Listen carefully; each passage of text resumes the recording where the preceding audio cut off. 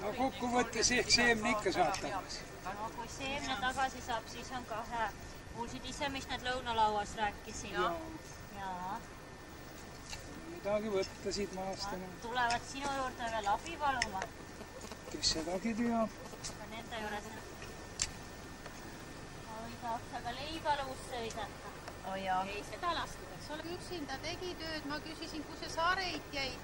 Ikka sööb, ikka sööb, no kui kaua võib süüa, no ütle siis. kaua sa ikka hing sööd kogu aeg? ma rääkisin perenaisega. jaa, muudkui söövad, muudkui söövad.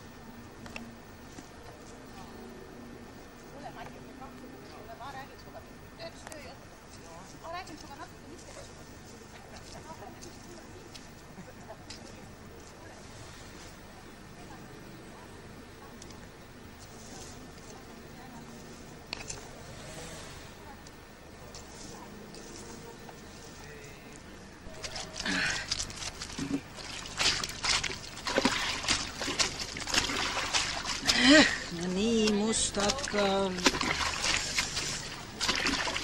katsu sa puhtaks saada niisugusi.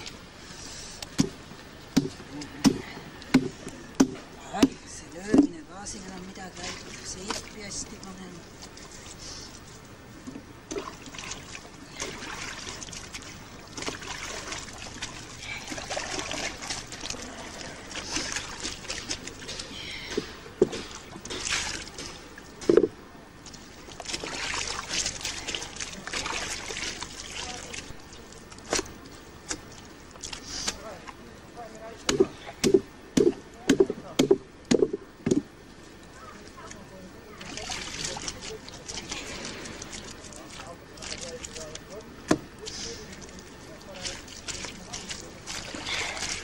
Praegu viib ilusti magana ütle. aga noh, ta on nii, et toimub kohe.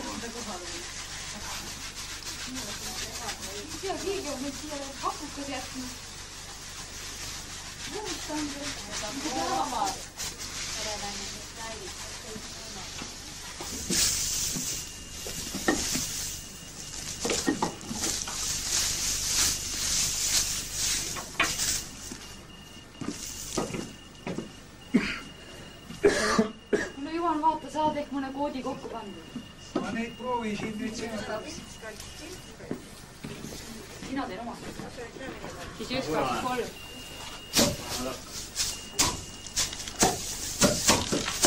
kolmeteist saani.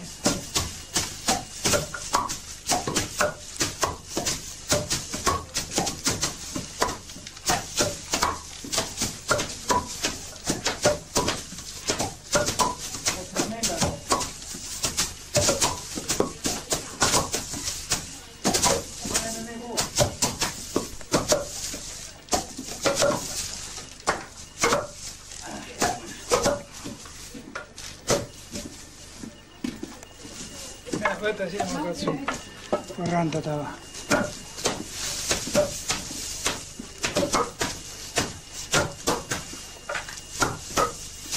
naistele on ikka raskem töö, jah. tere, naised. peab olema küürakil ja tihedamalt vilutada.